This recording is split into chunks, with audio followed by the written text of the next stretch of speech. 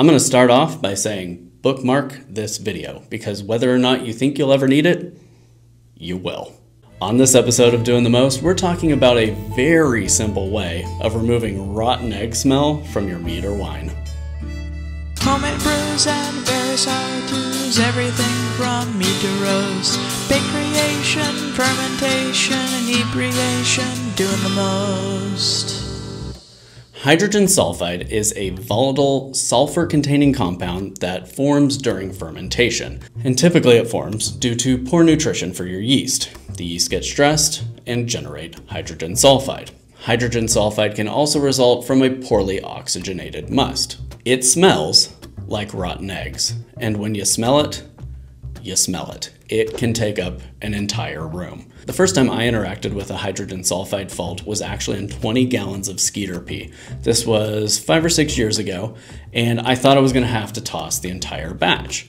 That's when I learned about splash racking. The splash racking method involves vigorously racking the must back and forth three to five times in order to introduce a lot of oxygen to the must.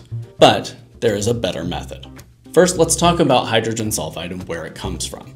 Hydrogen sulfide develops in what's called a reductive environment. And basically what that means is the molecules and atoms in that environment are more likely to share electrons. And meads and wines are particularly good at becoming reductive environments. You may have sulfates or elemental sulfur in your must, and if you do, it probably came in with the fruit. Sulfur is naturally occurring, it's part of a lot of living things. And in a reductive environment, that sulfur can come together and bond with hydrogen, creating hydrogen sulfide. And hydrogen sulfide ends up smelling like rotten eggs. The best way to combat hydrogen sulfide ever developing is to make sure your must is well oxygenated during primary. Plenty of oxygen in your must creates what's called an oxidation reductive potential, basically meaning that there's enough oxygen in there that it can counteract hydrogen sulfide and kind of make it go away. That's why splash racking can be effective. You're introducing a lot of oxygen and that oxygen can help make the rotten egg smell disappear. And the way I've splash racked in the past is by starting my siphon and leaving the racking tubing near the top of the fermentation vessel so it kind of vigorously rains down and splashes oxygen into the must. Repeat that three to five times, Wait 24 hours, give it a sniff. If you're still smelling a little bit of sulfur, do it again. But like I said, there's a better way. And weirdly enough, it involves copper. In the winemaking industry, this comes in the form of copper sulfate. And it's a liquid chemical that is added in very expertly measured amounts, and the copper bonds to the hydrogen sulfide and pulls it out of suspension. However, copper sulfate is incredibly poisonous. And when we're talking about adding it to mead or wine, we're talking about adding it in the single digit parts per million. And at the homebrew scale, that's pretty difficult to do, and I don't recommend it. Such an abundance of caution is necessary when working with copper sulfate. I wouldn't even recommend it to my worst enemy. So, What's the best way to expose your must to copper in order to help precipitate out the hydrogen sulfide? Well, if you look at homebrewing forums, there are some great options. Some will recommend racking it through a copper mesh. Others recommend building your own racking cane out of copper itself and racking through that. And while both of these are likely fairly effective, this process creates a lot of precipitants. It, it creates kind of granules of stuff because there's a chemical reaction happening. And particularly in a copper racking cane, I would be pretty fearful that I wasn't able to clean all that gunk out of there after the process was complete. So recently, I experienced a hydrogen sulfide fault for my second time ever. And it was in the hydromel batches that we used for our A-B test on cheap versus expensive tannin. I came into the brew room and it just reeked back here. It smelled like I had let a dozen hard boiled eggs go rancid. I got down to the carboy neck and I sniffed it and I just, I knew. I knew exactly what it was. And at that point, I'd had a couple people reach out through Instagram asking about what to do with hydrogen sulfide fault. And I'd recommend splash racking or some sort of copper filter.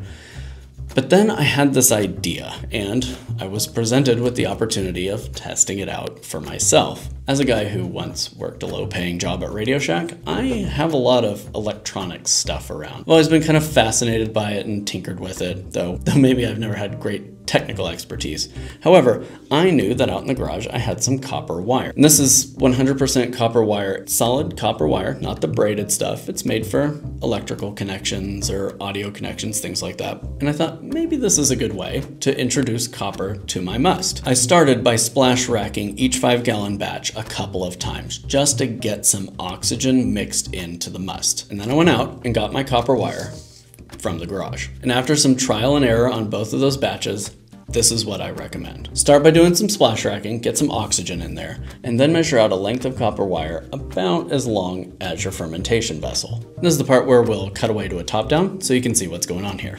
Once you've measured out your length of copper wire, strip the plastic sheath off.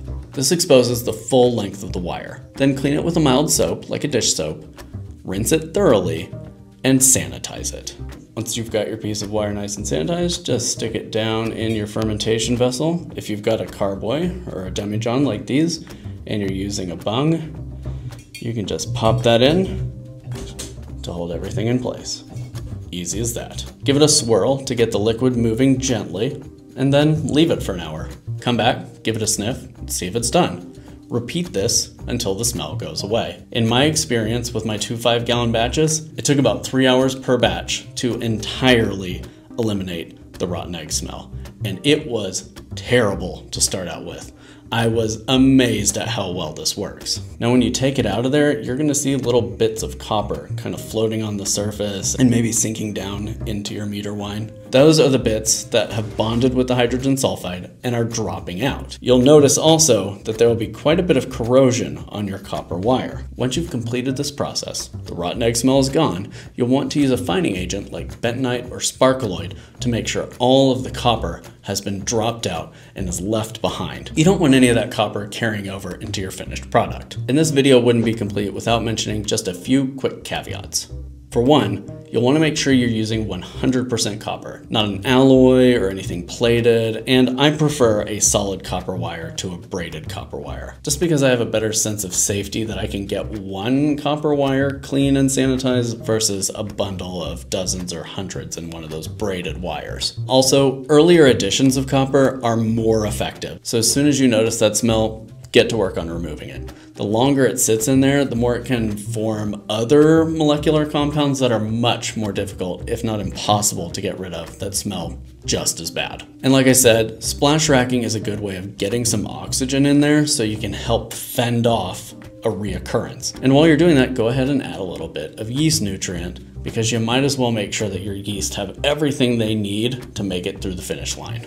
And again, you want to make sure you get all the remaining copper molecules out of there. They are heavy and they will stick to fining agents, so use them in tandem. If you leave remnants of copper in your wine or mead, it can create kind of an ugly appearance in there, it can lead to oxidation problems, and it can also form other nasty compounds. Don't leave it in there. Hit it with fining agents and move on. Also, if you're brewing like really bold or tropical fruity flavors, it's been proven that copper can actually mute or obliterate those flavors. So use it with caution and again, get it out of there as soon as it's done working. A lot of research went into creating this short video and all the links for all the articles that I read are gonna be down in the description if you wanna do some further reading. But the nuts and bolts of it is a little bit of 100% copper wire and a few hours of exposure should be enough to remove hydrogen sulfide rotten egg smell from your wine or mead. So in summary, to remove a rotten egg smell from your wine or mead, Splash racket back and forth two to three times.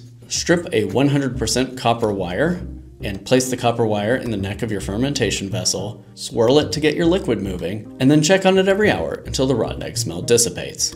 Once the smell is gone, hit it with a fining agent like bentonite or Sparkolloid. I hope this video has been helpful. If so, drop a comment down there and let me know about your experience. And if you'd like to support the channel and continuing content like this, hit us up on Patreon or become a YouTube member. Links for that will also be in the description. Please follow us on Instagram and Pinterest at Doing the Most OK, and our website is dointhemost.org. Until next time, happy brewing!